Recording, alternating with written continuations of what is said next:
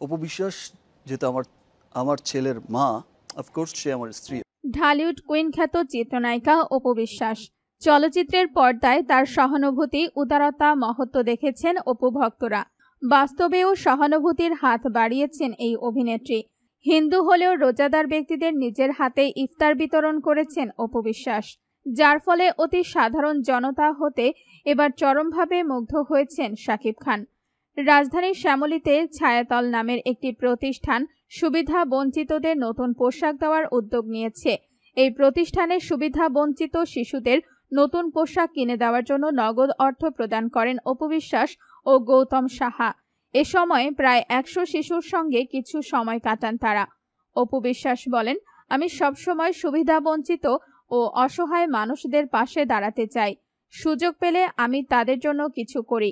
ঈদের নতুন পোশাক কিনে দেওয়ার জন্য ওদের পাশে থাকতে পেরে ভালো লাগছে।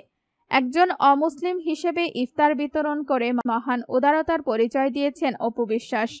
তিনি বলেছেন, আমি নিজে আজকে ভীষণ গর্ববোধ করছি এবং আমি যখন খাবার দিচ্ছিলাম তখন আমার ভেতরে একটা আবেগ কাজ করছিল। মনে হচ্ছিল আবেগে কান্না করে দিব। কিন্তু আসলে কেন এমন কথা অপু বললেন, তাতে অবাক হয়েছে সমগ্র দেশবাসী। এমনকি অবাক হতে বাধ্য হয়েছেন শাকিব খান।